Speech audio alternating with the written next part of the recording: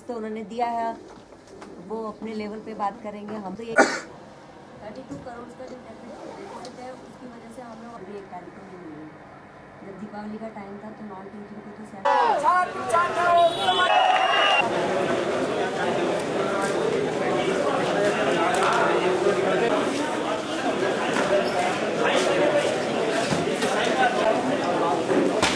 जो ये छात्र संघ चुनाव का जो चल रहा था ज्वलन पिछले तीन महीने से।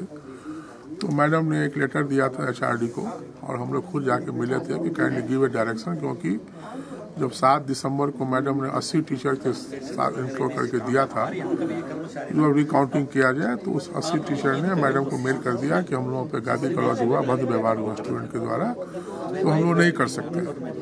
तो हम लोग वही मैडम, वही हम लोग गए, आचार्य में बात की, उन्होंने उसके लिए फैक्ट फाइंडिंग कमेटी बना दी है। यूजीसी सेक्रेटरी को उन्होंने डायरेक्शन दिया है कॉपी मुझे दिया है। कि फैक्ट फाइंडिंग कमेटी एक कंसल्ट करने के लिए और जो भी प्रोसेस जैसे भी हो होल द इलेक्शन प्रोसेस जितने भी हुए हैं इस साल के, वो पूरा फैक्ट फाइंडिंग कमेटी देखेगी।